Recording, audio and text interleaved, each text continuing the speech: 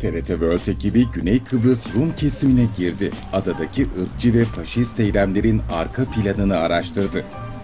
Konuyu ele alan ve Güney Kıbrıs'ta çekilen ilk yapımı olan Akdeniz'in Neonazileri izleyiciyle buluşuyor.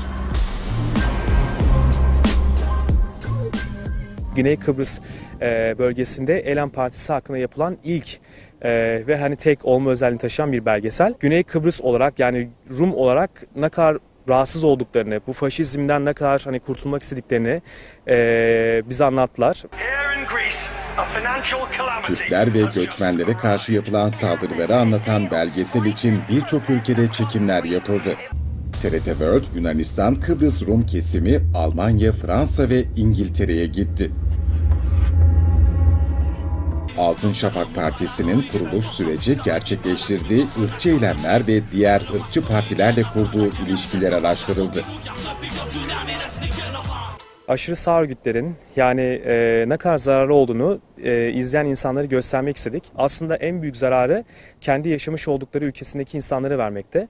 Çünkü e, öldürdükleri veya bıçakladıkları, yaraladıkları insanlar aslında hep Yunanlı. Daha çok Türklere bir şey yapamıyorlar. Altın Şafak'ın kurduğu Elan Partisi'nin dağlarda yaptığı askeri eğitimlere, spor kulüplerine sızma girişimlerine ve eğitim sistemine müdahalelerine de belgeselde yer verildi. Belgeselde ayrıca Kıbrıs Rum kesiminde Türk ve göçmenlere karşı yapılan saldırılara mercek tutuldu.